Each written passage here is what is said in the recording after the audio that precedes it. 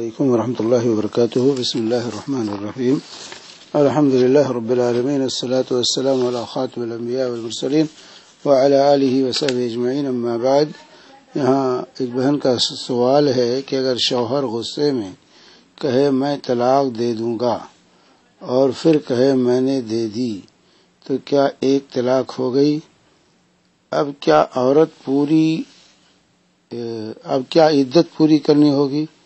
کیا اس میں رجوع کرنا ہوگا؟ اب شوہر کہتا ہے کہ میں نے غصے میں یہ جملہ بولا تھا کہ میں نے دے دی، مگر میرا یہ ہرگز مطلب نہیں تھا۔ اب بیوی کو لگتا ہے کہ اس کا یہ کہنا میں نے دے دی کا مطلب ہے طلاق۔ تو اب کیا کرنا چاہیے؟ برائے مہربانی رہنمائی فرمائے۔ دیکھیے، یہ واضح ہونا چاہیے، کوئی خوش ہو کر بیوی کو طلاق نہیں دیتا۔ جتنے لوگ طلاق دیتے ہیں، سب غصے ہی میں طلاق دیتے ہیں۔ بیوی پر غصہ آتا ہے تو طلاق کی گولیاں چھوڑتے ہیں۔ کوئی راضی ہو، خوش ہو بیوی سے اور طلاق دے، یہ نہیں ہوتا عام طور سے۔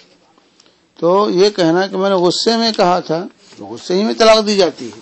ہاں البتہ اگر غصہ اس حد تک پہنچ گیا ہے کہ انسان جنون کی حد تک پہنچ گیا وہ اس کے قول اور فعل کا اس کو خود شعور اور احساس نہیں۔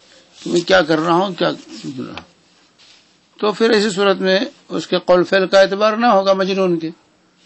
لیکن اگر یہ کیفیت نہیں ہے تو اس کے قول کا اعتبار ہوگا۔ حتیٰ کہ مذاق میں بھی اگر طلاق دیتا ہے تو طلاق واقع ہو جاتی ہے۔ چنانچہ ابو رضی اللہ تعالی عنہ کی حدیث ہے، سنن ابی داود کی حدیث نمبر دو ہزار ایک سو چورانوے۔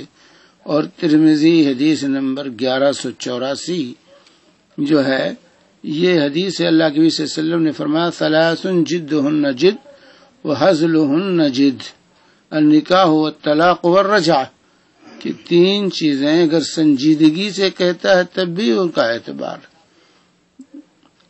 اعتبار کہ وہ حضل ہن جد، اور اگر مذاق میں کہتا ہے تب بھی وہ سنجیدگی پر محمول ہوگا۔ اور اس کا اعتبار کیا جائے گا۔ وہ تین چیزیں نکاح و طلاق اور رجا نکاح طلاق ہے اور رجعت۔ یہ تینوں چیزیں۔ بعض روایات میں ولی طاق کا لفظ آیا ہوا ہے۔ بہرحال، تو رجعت کی جگہ پر۔ تو یہ حدیث ہے ابو داود کی اور ترمزی کی۔ اور شیخ البانی رحمہ اللہ نے اروا الغلیل حدیث نمبر ایک ہزار آٹھ سو چھبیس میں اس کو حسن کہا ہے۔ اسی طریقے سے آئینی نے نخب الافکار میں جل نمبر گیارہ، صفحہ دو سو پچہتر پر اس کو حسن کہا ہے۔ اسی طریقے سے ابن ملقن نے جو ہے تو حفت المحتاج جل نمبر دو، صفحہ تین سو اٹھانوے پر اس کو صحیح یا حسن قرار دیا ہے۔ تو بہرحال یہ مذاق میں کہے کہ مذاق میں کہا ہوں؟ یا سنجیدگی کی حالت میں کہے وہ سنجیدگی پر محمول ہوگا اور اس طلاق کا اعتبار ہوگا۔ جو طلاق دے دی، یہ کلمہ خطرناک ہے۔ اگر وہ جو پہلے تو دھمکی ہے، میں طلاق دے دوں گا، اس سے طلاق واقع نہیں ہوگی۔ میں طلاق دے دوں گا، لیکن جب تک دے گا نہیں، تب تک طلاق واقع نہیں ہوگی۔ لیکن جس نے کہا میں نے طلاق دے دی، تو یہ طلاق واقع ہو گئی۔ اب ایسی صورت میں اس کو عدت جو ہے، طلاق کے بعد عدت ہوتی ہے۔ جو اگر حیض آتا ہے تو تین حیض، اور اگر حیض نہیں آتا، بند ہو گیا ہے تو تین مہینہ۔ اگر حالت حمل میں ہے تو وضع حمل۔ بچہ پیدا ہونے تک وہ عدت میں رہے گی۔ اب اگر یہ پہلی مرتبہ یا دوسری مرتبہ طلاق ہے، تو ایسی صورت میں شوہر کو پورا اختیار ہے عدت کے اندر رجوع کرنے کا۔ عدت کے اندر شوہر کو اختیار ہے رجوع کرنے کا، وہ رجوع کر سکتا ہے کہ چل تو میری بیوی ہے، یا اس سے جو ہے بوس و کنار ہو لیا، یا مباشرت کر لی۔ رجعت کی نیت سے۔ اگر رجعت کی نیت سے ہے، تو وہ رجعت شمار ہوگی اور بیوی ایک طلاق کا اعتبار ہو جائے گا اور اس کے بعد جو ہے دو طلاقیں صرف باقی رہیں گی۔ تو یہ رجعت ہو جائے گا تو اگر شوہر اس صورتحال میں جو آپ بیان کر رہی ہیں، اگر یہی کیفیت ہے، تو شوہر کو رجعت کا حق ہے اور رجوع ہونا چاہتا ہے تو عدت کے اندر وہ رجوع ہو سکتا ہے۔ عدت کے اندر، عدت کے اندر جو ہے رجوع ہونے کا، اس کو پورے کا پورا اختیار ہے۔ بیوی یہ نہیں کہے کہ میں نے رجوع ہوتی۔ بیوی کا اختیار نہیں ہے رجوع ہونے میں، شوہر کا اختیار۔ تو شوہر کا رجوع کرتا ہے تو رجوع ہو جائے گا، اس کی بیوی ہے۔ اور پھر ساتھ میاں بیوی کی طرح وہ رہ سکتے ہیں۔ اگر پہلی مرتبہ طلاق ہے یا دوسری مرتبہ طلاق۔